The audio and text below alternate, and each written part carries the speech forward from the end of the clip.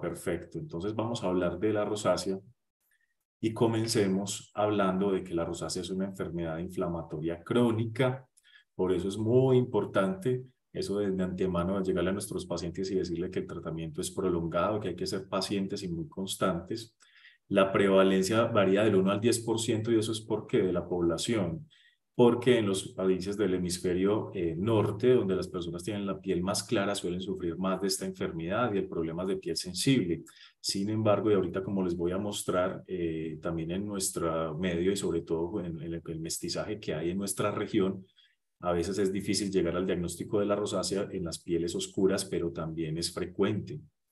Eh, afecta principalmente a personas de mediana edad, principalmente mujeres cerca de la segunda, tercera década de la vida, y como les dije, pues las personas de fototipos claros 1 y 2 son los más susceptibles a desarrollar esta enfermedad. En la fisiopatología, hablando eh, de las causas de la enfermedad, podemos ver que hay varios eventos fisiopatológicos. Alteraciones en la inmunidad innata, la disfunción neurovascular que explica el por qué se presentan esos enrojecimientos a repetición, esa sensación de calor en la piel o muchas veces el eritema o el enrojecimiento persistente de la piel. El daño causado por la luz ultravioleta es muy importante ya que eh, la rosácea se caracteriza por ser piel sensible. Estos pacientes realmente con pocos minutos de exposición solar, su piel se pone muy roja, eritematosa, comienzan a presentar ardor y prurito y esto es supremamente a veces molesto y sintomático para los pacientes. Y por último, también se ha especificado que hay eh, una respuesta inflamatoria eh, a microorganismos en la piel, eh, ácaros del género de Modex, que pueden causar inflamación y las lesiones que vemos de aspecto acneiforme o con pápulas y con pústulas en esta enfermedad. Vemos entonces que el Demodex folliculorum es un ácaro comensal de nuestra piel. El, más del 90% de los adultos presentamos este ácaro. Este ácaro apenas la hembra mide entre 0.3 a 0.4 milímetros. Tiene esa característica de ser alargado, de tener cuatro pares de patas. Y él se introduce a través de los folículos pilosos y se alimenta del sebo que producen nuestras glándulas sebáceas. En pieles sin esa predisposición genética a la rosácea, pues realmente no suele suceder ninguna sintomatología. Sin embargo, todavía no se entiende bien por qué los pacientes que presentan rosácea, eh, este ácaro genera una respuesta inflamatoria marcada eh, asociada a la dilatación vascular y, como les dije, a las lesiones papulopustulosas y a veces nodulares que eh, presentan los casos más graves. Este ácaro, entonces, como le dije, como se alimenta del sebo, pues principalmente se ubica entonces en las áreas sebáceas y también en los bordes de los párpados, produciendo ojo seco de forma secundaria irritación, eh, generando también ojo seco. Y el Demodex brevis es otro de los ácaros que es menos frecuente en nuestra piel, pero también podemos presentarlo y también tiene pues alguna asociación con la rosácea, pero principalmente el Demodex folliculorum. En esta imagen eh, que yo tomé de una paciente en la dermatoscopia, que es como una especie como de microscopio de mano que tenemos con una luz polarizada para ver más imágenes a detalle en la dermatología, vemos una piel enrojecida con unos vasos sanguíneos dilatados, muy típico de la rosácea, pero lo que yo quiero mostrarles es estos pequeños como punticos blanco, transparentes, como alargaditos. Estos son múltiples ácaros de Demodex metiéndose a través del folículo. Esta paciente está completamente infestada de estos ácaros. Ellos se han multiplicado más de la cuenta y ellos al, alimentarse del sebo que produce la piel, pues secundariamente produce resequedad. Esto a veces a simple vista es visible. Esta piel de esos pacientes se ve seca y como con unas pequeñas espinitas que es lo que forman como eh, esas espículas de los ácaros que se están metiendo a través del folículo piloso. ¿Cuáles son entonces como los signos cardinales de la rosácea? Como que el paciente nos llegue a la consulta y qué es lo que nosotros vamos a preguntar o vamos a ver en un paciente con rosácea. Lo primero es el eritema transitorio o flushing. Eh, eh, son ese tipo de pacientes que se colocan colorados por cualquier cosa, que si toman licor, bebidas calientes o picantes, también se ponen rojo la cara, el cuello, de forma momentánea por pocos minutos. El eritema persistente se refiere a que ese enrojecimiento perdura a lo largo de los días o semanas y es como lo típico paciente que llamamos el cachete colorado, Eh, también igualmente eh, vemos telangiectasias, entonces cuando esta enfermedad ya avanza en el tiempo, estos vasos sanguíneos se van a ver dilatados de forma persistente y pues la radiación ultravioleta, la exposición continua al sol, pues hace que esto aparezca con más rapidez y sea más grave. Y por último, que vamos a ver, que esta es la parte que tal vez nos puede hacer confundir con el acné, y son las pápulas y las pústulas que se asemejan mucho al acné, ¿sí? Es más, pues podemos tener casos de pacientes que pueden presentar las dos enfermedades, sino que aquí les doy un tip muy eh, clave y es que si el paciente solo tiene rosácea y si tiene pápulas y pústulas, mm, si no tiene acné, eh, no va a tener comedones. El acné siempre va a tener comedones, lo que comúnmente llamamos espinillas. Los pacientes con rosácea no desarrollan comedones. Sin embargo, como les dije, pueden coexistir las dos enfermedades, principalmente en la adolescencia. ¿Qué otros síntomas podemos ver secundarios? Como les dije al principio, prurito, ardor, cerosis que se refiere al tema de piel seca, edema o hinchazón de los tejidos blandos por alteración del drenaje linfático y eso puede conducir finalmente a cambios de rinofima, por ejemplo. Síntomas oculares, como les dije, el demodex folliculorum puede afectar la producción de sebo a nivel de los párpados y eso puede generar ojo seco, irritación y enrojecimiento. Y también, pues en pocos casos, pues más raramente la rosácea no solo puede afectar el rostro, sino áreas extraoculares, principalmente el pecho y los miembros superiores, teniendo esos mismos síntomas de eritemas transitorios o persistentes de la piel. Ahora entonces, eh, ¿cómo vamos a clasificar la rosácea?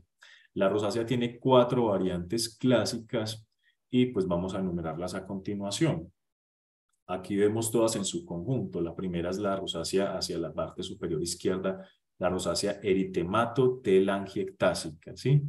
Como su nombre lo indica, son pacientes que se ven coloraditos y con esas venitas dilatadas, con esos vasos sanguíneos eh, telangiectásicos. La segunda forma, la parte superior derecha, la papulopustulosa, que es la que más nos puede hacer confundir con el acné. La tercera hacia la parte inferior izquierda, la rosácea fimatosa, en la cual ese edema persistente y esa alteración del drenaje linfático puede producir ese aumento de volumen de los tejidos blandos, incluso pues produciendo alteraciones estéticas, principalmente en los hombres. Y por último, la rosácea ocular, que como habíamos hablado, pues es por alteración en el drenaje o de, las glándulas sebáceas y por irritación secundaria produciendo ojo seco. Estas son imágenes de pacientes de la vida real que yo he tenido en la consulta. Entonces, mire que aquí podemos ver, es la primera forma, la eritematotelangiectásica. Mire que a veces cuando ese eritema o ese enrojecimiento no es tan evidente, no es tan fácil diagnosticar una rosácea. Por eso siempre hay que preguntar, le pica, le arde, tiene la piel seca. Si usted se expone al sol, siente que se quema fácilmente, que la cara le arde. Entonces, hay que preguntar por esos síntomas, porque a veces estos pacientes, como les digo, pueden pasar muy desapercibidos, dice, van a decir, no, solamente es coloradito y ya. Y en el diagnóstico diferencial hay que tener presente que el lupus eritematoso puede producir ese eritema, pero en este caso puede producir un exantema más en alas de mariposa, hacia el dorso nasal, hacia las mejillas y de un color más violáceo, ¿sí? Pero ese es uno de los diagnósticos principales en las mujeres principalmente de mediana edad. Si hacemos un acercamiento, miren los que los, yo les hablé del ácaro de Demodex folliculorum, que esta paciente tenía piel muy seca y se le veía claramente esas pequeñas como espinitas, espículas que se sienten ásperas al tacto y es por la presencia de decenas de ácaro que pueden afectar los folículos pilosos. Miren que de fondo podemos ver también pequeñas telangiectasias. Esta otra paciente es otra forma de rosácea eritematotelangiectásica mucho más evidente. Eh, probablemente lleva un tiempo de mayor evolución, ha tenido más exposición solar, por eso esta piel reacciona más fuerte con un eritema más persistente.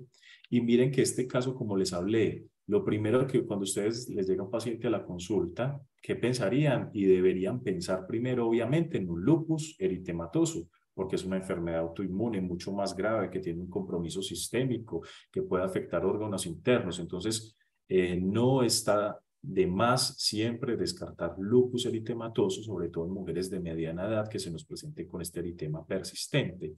A diferencia de la rosácea, eh, la rosácea produce más prurito que ardor. Uno y dos, en el lupus ese eritema es un poco más enrojecido, mucho más violáceo y afecta también esta zona en alas de mariposa. Como digo, esta paciente podría hacerlo uno pensar en lupus y de hecho se le pidieron exámenes, pero finalmente su diagnóstico fue rosácea.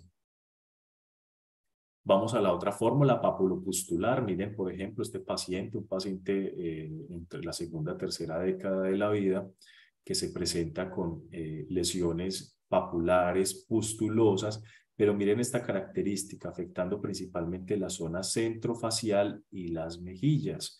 Y el paciente también refería eritema persistente y episodios de flushing o enrojecimiento facial.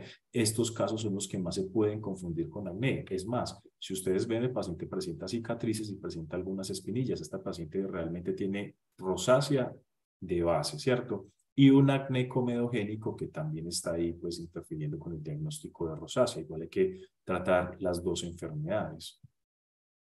Esta otra paciente también, miren el típico eritema o enrojecimiento en las mejillas, alrededor de la boca, el área del mentón es una zona muy frecuente también de la rosácea y pequeñas lesiones papulopustulosas eh, en todo el rostro.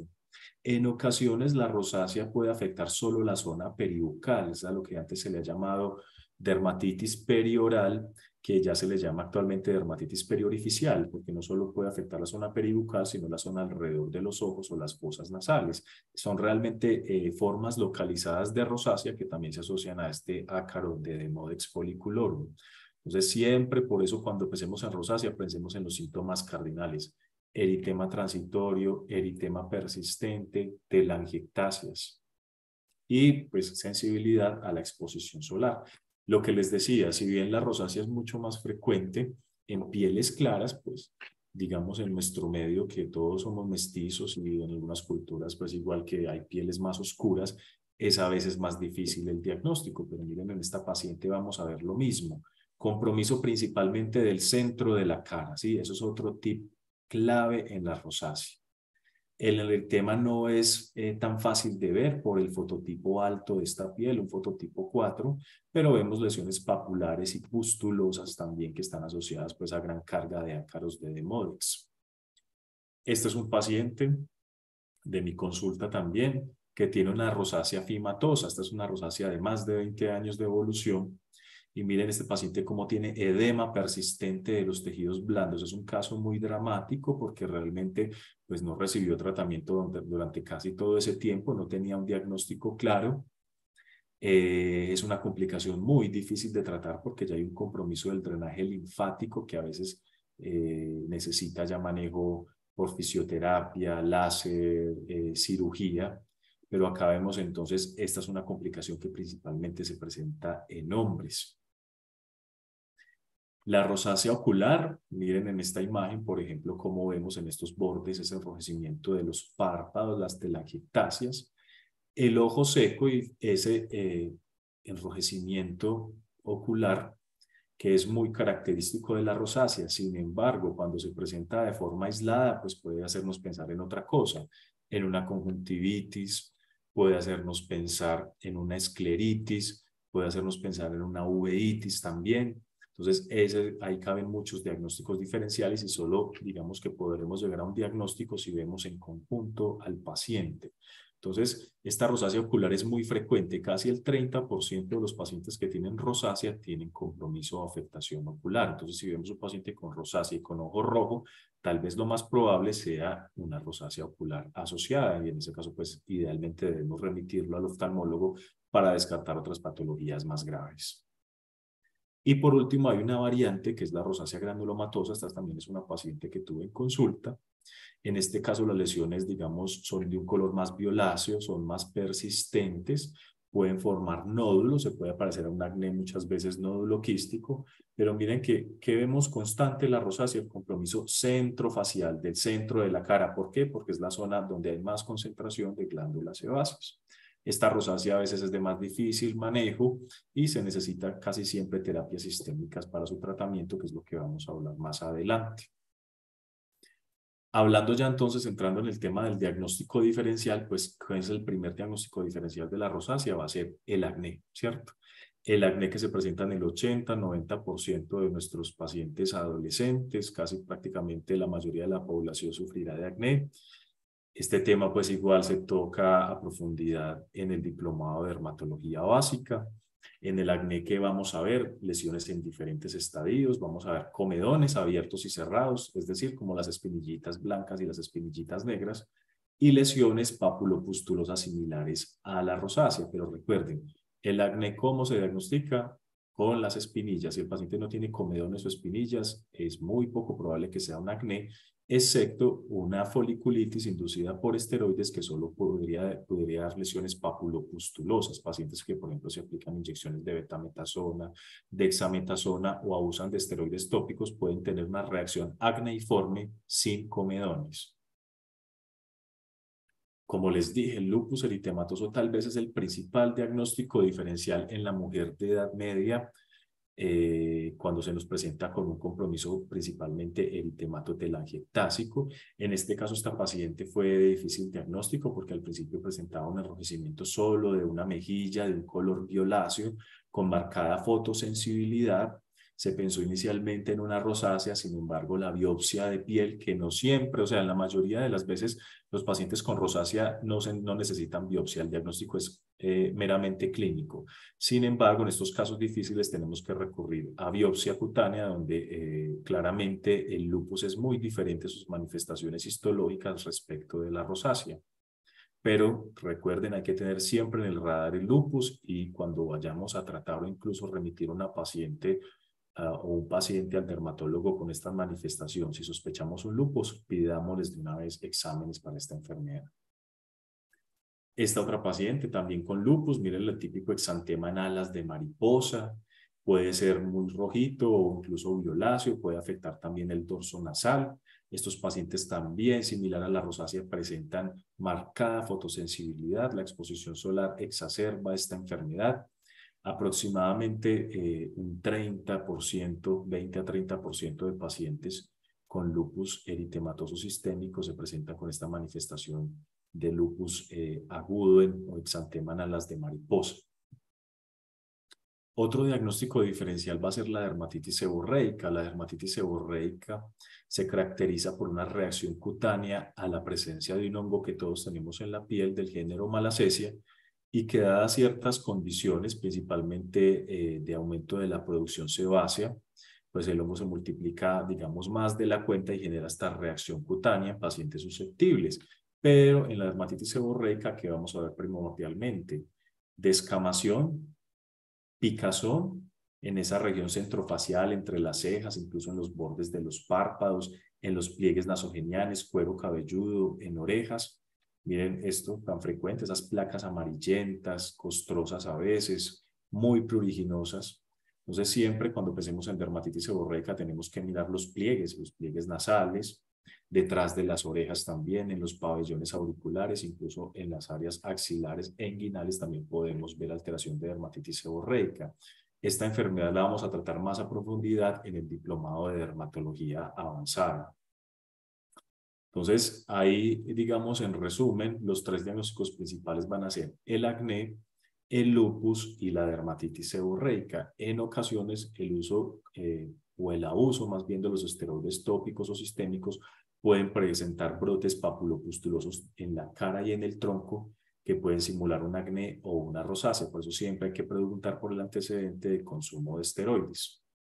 Y ya vamos a la parte final que es el tratamiento. Entonces, digamos que en el tema del tratamiento hay muchas opciones en la actualidad para el manejo de esta enfermedad y la buena noticia es que en nuestro medio, hablando especialmente de Colombia, pues eh, casi todos los tratamientos tópicos y sistémicos eh, para la rosácea están incluidos en el plan de beneficios en salud, o lo que antes llamábamos el POS. Entonces pueden nuestros pacientes acceder al tratamiento completo de esta enfermedad. Lo primero que tenemos que saber es que ¿Qué no le puede faltar a un paciente con rosácea? Entonces, primero, si el paciente tiene marcada fotosensibilidad, ¿qué tenemos que hacer? Darle fotoprotección. Entonces, ¿a qué se refiere la fotoprotección? Y que ese es un tema que también hablamos en el curso de dermatología básica, a todas las medidas necesarias para prevenir y evitar el daño de la radiación ultravioleta en nuestra piel, evitando las complicaciones, principalmente el cáncer de piel. Entonces, hay que utilizar un bloqueador solar con un, ojalá, un factor de protección solar por encima de 30 o 50. Estos pacientes con rosácea les va muy bien con pantallas solares, es decir, bloqueadores solares que contienen óxido de zinc, dióxido de titanio o óxido de hierro, hay que hidratarles muy bien su piel porque al perder la función de barrera por la resequedad de la piel, pues su piel es mucho más sensible. Entonces esa es otra característica de los pacientes que, con rosácea cuando nos llega a la consulta. Doctor, es que no me puedo aplicar nada porque todo me pica, todo me arde, hago alergia. ¿Por qué? Porque su piel es seca, porque ha perdido la función de barrera. Entonces, ¿cómo tenemos que hacer? Hidratando nuestra piel idealmente con cremas que no sean muy grasosas oleosas, que sean principalmente a base de ácido hialurónico o simeticona o dimeticona, que ayuda mucho a la restauración de la barrera cutánea. Evitar los exacerbantes, como siempre pues les he dicho, la radiación ultravioleta, las bebidas o comidas calientes, los picantes y el alcohol, se tiene que decir claramente que son exacerbantes de la enfermedad, principalmente del eritema. Evitar el uso de esteroides tópicos, ustedes van a ver que los pacientes con rosácea antes de que lleguen al médico primero han ido al de la farmacia o por su cuenta o por recomendaciones de amigos o familiares se han aplicado cremas de betametasona, hidrocortisona u otro tipo de esteroides de manera crónica. El paciente le dice a uno, doctor, pero es que eso es lo único que me sirve. Si yo me la dejo de aplicar, vuelvo y me broto. Claro, por el fenómeno de rebote. Ese es otro tema de que hablamos eh, en terapia tópica en dermatología en nuestro diplomado el uso crónico de esteroides solo va a hacer que nuestra piel se vaya atrofiando, es decir, se adelgace, que las telangiectasias entonces sean cada vez más evidentes. Y si se suspenden abruptamente, pues va a empeorar el brote de la rosácea, incluso generando formas papulopustulosas. Entonces, de entrada quiero que sepan es que los esteroides están contraindicados en el uso o en el manejo, perdón, de la rosácea. ¿Listo? Igualmente, evitar el uso de limpiadores faciales con alcohol, porque esto nos va a irritar mucho. Las aguas micelares, eh, idealmente, pues deben ser dermatológicas. Y utilizar Sindex, es decir, jabones que no tengan ese efecto detergente que resecan aún más nuestra piel, sino simplemente utilizar limpiadores dermatológicos. Ya entonces, adentrándonos en cada forma de rosácea, pues cada una va a tener un tratamiento específico. Si el paciente principalmente se nos presenta con una rosácea eritematotelangiectásica, vamos a utilizar ivermectina tópica en crema al 1%, ese es el tratamiento actual de elección y está en el POS. El metronidazol en gel al 0.75 también ha sido un tratamiento que clásicamente se ha utilizado desde hace muchos años para rosácea y puede utilizarse en conjunto con la ivermectina. El ácido acelaico al 15%, que también lo tenemos en el POS el propanolol oral se deja para los casos que presentan pacientes flushing con mucha frecuencia o un eritema marcado, ya que el propanolol eh, produce una vasoconstricción cutánea que ayuda mucho con esta sintomatología. Desde que el paciente no tenga contraindicación y el eritema sea muy marcado, es uno de los medicamentos de lesión. Y la brimonidina tópica, que es un vasoconstrictor tópico, aunque a veces tiene un problema, no está primero en el post, es costoso y segundo puede producir un fenómeno de rebote. Entonces realmente digamos que en el centro del tratamiento va a estar la ivermectina. La rosácea populopustulosa, miren también acá que la ivermectina es la primera lección. ¿Y por qué es la primera lección? Pues porque desde hace varios años el Demodex se ha encontrado que es como, digamos, uno de los agentes principales o protagonistas en la fisiopatología de la rosácea. Esta ivermectina eh, realmente funciona muy bien. Eh, se aplica solamente en las noches, a veces dos veces al día, pero la mayoría de las veces con una aplicación en las noches es suficiente. Estos tratamientos son prolongados. Recuerden que es una enfermedad inflamatoria crónica. La terapia inicial son al menos tres meses continuos con la ivermectina tópica o el metronidazol pero después de los tres meses, si el paciente está controlado, podemos pautarle terapias de mantenimiento de una, dos o hasta tres noches por semana. Miren que en la forma papulopustulosa sí se asemeja al acné algo en el tratamiento y es que aquí ya vemos a la doxiciclina como otro de los pilares del tratamiento de esta forma de rosácea. La dosis ideal es una dosis que no genere resistencia antimicrobiana ni altere nuestra flora intestinal o en las mujeres eh, la flora vaginal produciendo candidiasis secundaria y esa dosis sería de 40 miligramos día, la cual está desde hace también varios años en el mercado y también se encuentra actualmente disponible en nuestro plan de beneficios en salud. Si no podemos contar con la doxiciclina de 40 miligramos, pues vamos a darle al paciente 100 miligramos día. Recuerden que siempre deben ser administrados luego de una comida y que no pueden administrarse con lácteos porque alteran su absorción. La doxiciclina se administra máximo por dos a tres meses. Y por último, si esa rosácea no ha respondido a la ivermectina, el metronidazol o las tetraciclinas, pues la última opción sería la isotretinoína a bajas dosis en formas severas. Recuerden que eh, la isotretinoína es un medicamento que hay que tener eh, mucha precaución, sobre todo por el metabolismo hepático. Entonces, si se va a iniciar la isotretinoína, hay que pedir pruebas de función hepática. Es obligatoria una prueba de embarazo y la planificación obligatoria en las mujeres de edad reproductiva. Y además debemos pedir un perfil lipídico. Las bajas dosis, generalmente uno podría utilizarla de dos a tres noches a la semana de 10 a 20 miligramos y se tiene que hacer un seguimiento estricto y preferiblemente en este caso sí por dermatólogo.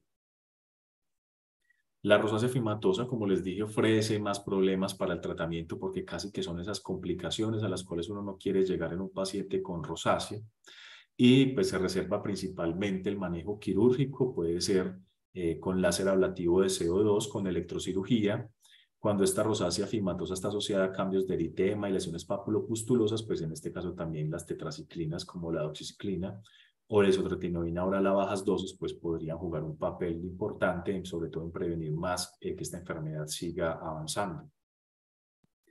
La rosácea ocular, pues se trata eh, con tetraciclina oftálmica. Esos pacientes, recuerden, por el ojo seco también hay que eh, mandarlos a oftalmología, requieren lágrimas artificiales, limpiadores oculares y de párpados especiales. La doxiciclina oral es realmente muy útil en manejar esa inflamación y ese tema vascular.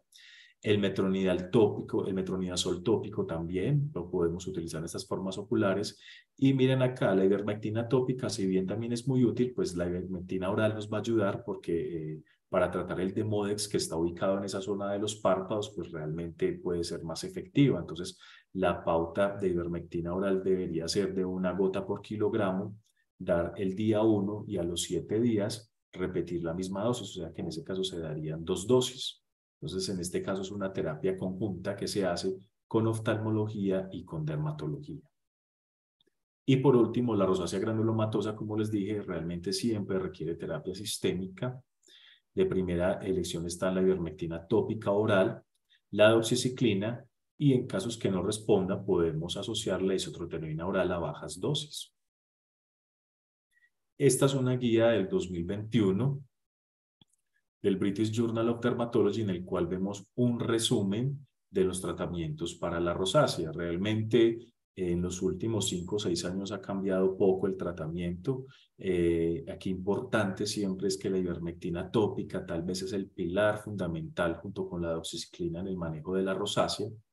Y no olviden además siempre las medidas preventivas, fotoprotección, hidratación de la piel y evitar factores desencadenantes. Muchísimas gracias por su atención y pues quedo atento a las preguntas que me vayan a hacer. Doctor, muchísimas gracias. Muy interesante toda la información que nos pudo compartir. Tenemos varias preguntas. Vamos a comenzar con la primera. ¿Cómo afecta la rosácea la salud emocional y psicológica de los pacientes? ¿Es importante considerar el apoyo psicológico o terapias complementarias en el manejo integral de la enfermedad?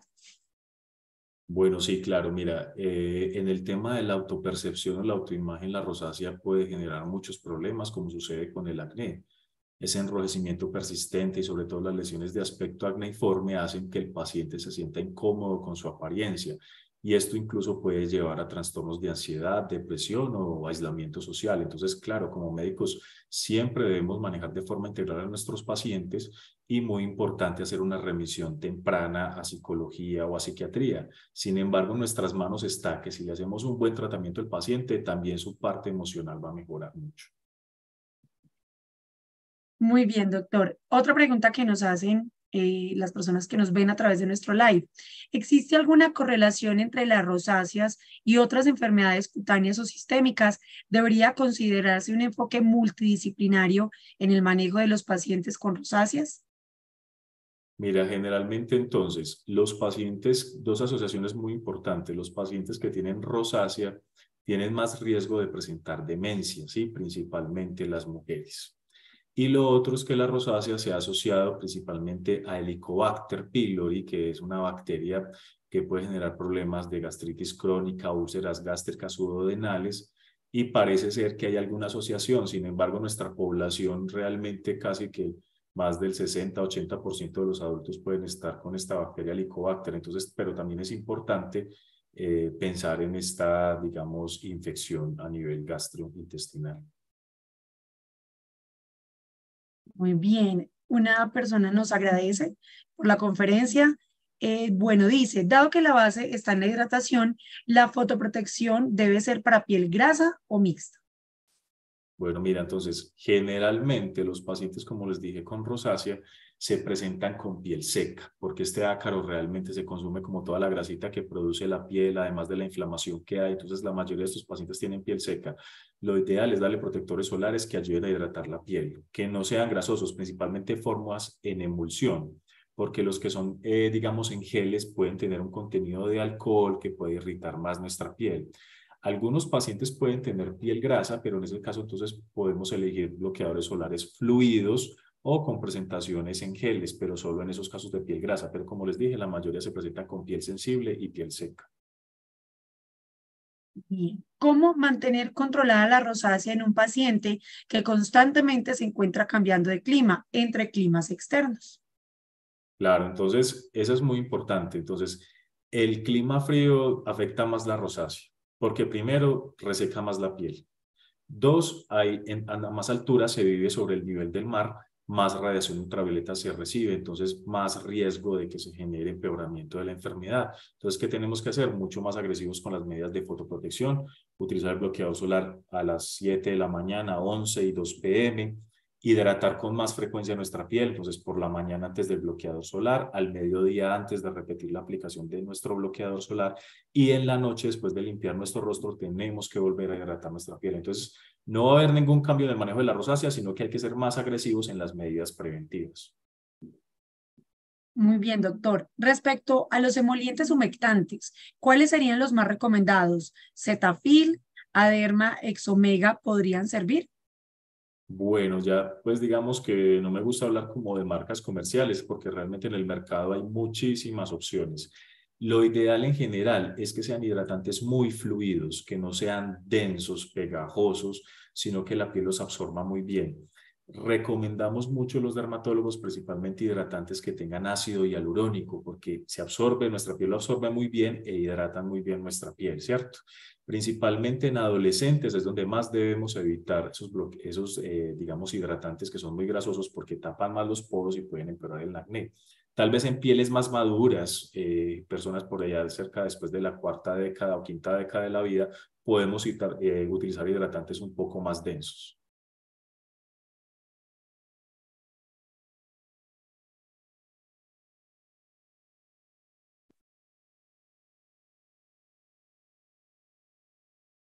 Disculpa, no escucho en este momento. Ay, listo, doctor. Muchas gracias.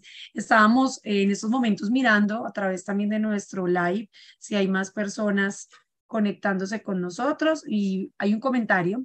Dice, soy psicóloga y me estoy capacitando en dermatología para complementar las terapias psicológicas debido a la afectación que se evidencia en los pacientes. Excelente y muchas gracias. Agradecimiento de una de las personas que está conectada con nosotros. Muchas gracias a todos ustedes también por estar eh, atentos de este taller que es muy interesante. Doctor, gracias. Una última recomendación para los que hoy nos están viendo.